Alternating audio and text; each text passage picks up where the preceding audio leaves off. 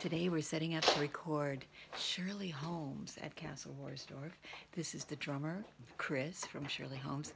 And looking at the kit, well, we have uh, some interesting miking going on. Check out this over here. This contraption is to isolate the hi-hat and the snare. All right, you can see inside there's a KM84 that is mounted inside this of this uh, steel funnel and then the uh, mic cable comes out of the back of it here.